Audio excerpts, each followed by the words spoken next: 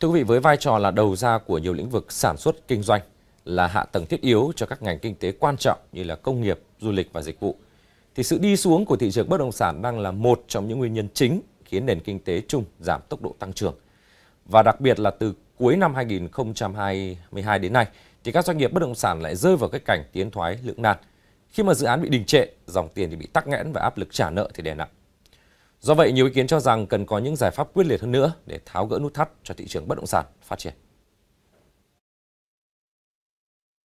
Theo số liệu của Bộ Xây dựng, số lượng dự án nhà ở thương mại đang giảm dần, thị trường bất động sản vẫn đang trong tình trạng thiếu nguồn cung nhà ở mới, cơ cấu sản phẩm nhà ở vẫn còn mất cân đối trầm trọng. Lệch về phân khúc nhà ở cao cấp, thiếu nguồn cung nhà ở xã hội và nhà ở giá vừa túi tiền. Bên cạnh đó, các chuyên gia cũng nhận định nếu tính giá nhà tuyệt đối thì tại Việt Nam không cao hơn Thái Lan, Malaysia,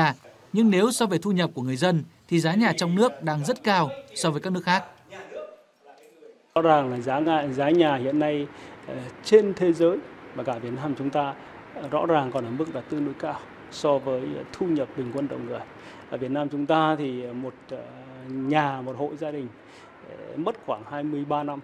mới có thể đủ tiền để mua được một ngôi nhà sống ở đó thì rõ ràng cái cái cái mức giá như vậy là tương đối cao so với thu nhập và so với cái mức bình quân các nước là khoảng từ 10 đến 15 năm.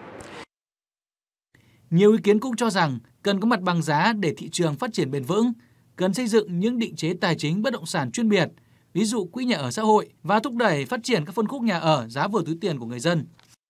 Thực tế thì chúng ta đã nhìn nhận thấy là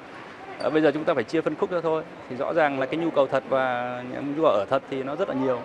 Nhưng mà lại phải đối mặt với bài toán là là cái dòng phân khúc cho dòng đó thì hiện nay cũng cũng không cũng cũng không có nhiều về mặt sản phẩm thứ hai nữa là giá nó cũng cũng không phải là là là là giảm cho cái việc này cho nên là cái việc mà chính phủ đã có những cái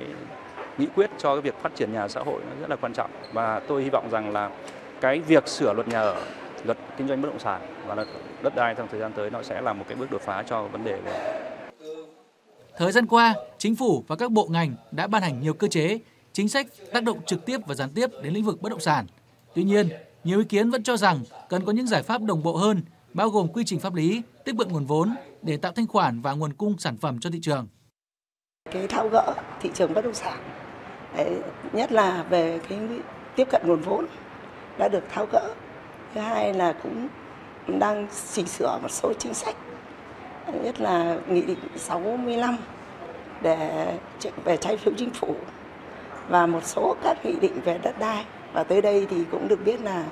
cũng đang sửa đổi rất nhiều cái ờ, luật cũng như nghị định để cho doanh nghiệp là tiếp tục phát triển được cái thị trường bất động sản. Mặt bằng lãi suất sẽ tiếp tục ờ, hy vọng được giảm. Thế rồi những cái ờ, vấn đề về pháp lý được tháo gỡ, vấn đề về quy hoạch, vấn đề về cơ sở tầng